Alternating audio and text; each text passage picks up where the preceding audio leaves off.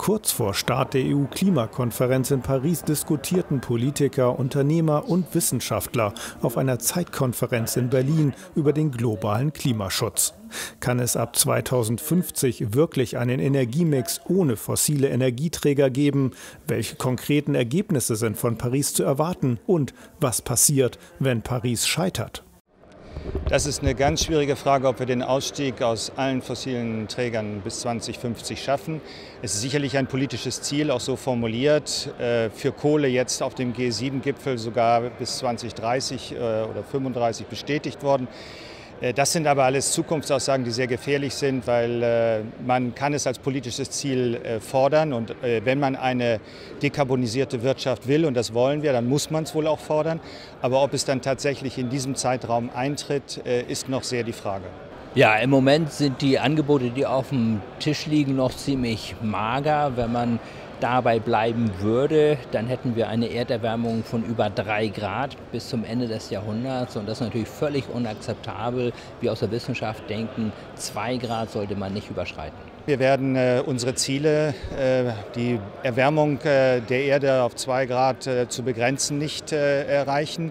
Äh, wir werden auch weiterhin unsere Umwelt stärker belasten als sonst. Also ich glaube schon, dass wir, es ist keine Alternative zu dieser Entwicklung gibt. Äh, deswegen sage ich auch, äh, wir müssen stärker von den Fossilen weg oder wenn wir sie Fossilen benutzen, müssen wir sie carbonarm machen, was ja, wofür es ja auch Technologien geben mag. Das muss geschehen, nur ich lasse mich auf keine Zeitschiene festlegen. Ja, die Warnindikatoren sind zunächst einmal, dass die sogenannten Treibhausgase in der Luft ansteigen. Allen voran Kohlendioxid. Wir haben heute schon einen Wert, den es noch nie gegeben während der letzten 800.000 Jahre. So weit können wir zurückgehen.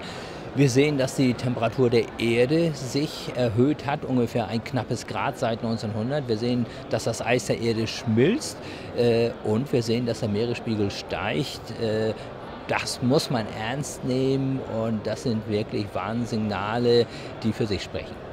Paris muss auf jeden Fall äh, klare Rahmenbedingungen setzen, die für alle verbindlich sind. Denn daran hat es, an der Verbindlichkeit hat es äh, bisher äh, gemangelt.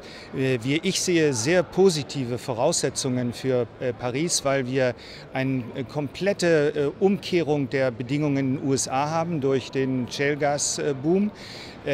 die USA können dadurch viel ähm, offensiver mit der Frage umgehen und auch die Umkehr oder jedenfalls teilweise Umkehr Chinas. Das große Problem, das wir zu lösen haben, das sind die Entwicklungsländer, äh, denen wir äh, helfen müssen, äh, die übergroßen Belastungen, wenn sie auf unserem Weg mitgehen, tragen zu helfen. Das ist gar keine Frage. Also ich erwarte von Paris, dass es ein Abkommen geben wird, aber das Abkommen wird nicht geeignet sein, unterhalb dieser berühmten 2-Grad-Marke zu bleiben. Aber ich hoffe dann, dass in den Jahren danach es schrittweise immer weiter verschärft wird. Es gibt ja ein gutes Beispiel, das sogenannte Montrealer Protokoll zum Schutze der Ozonschicht. Auch das war löcherig wie ein Schweizer Käse zu Beginn. Man hat es dann weiter verschärft und heute können wir einigermaßen positiv in die Zukunft blicken und hoffen, dass das Ozonloch 2050 wieder verschwunden ist.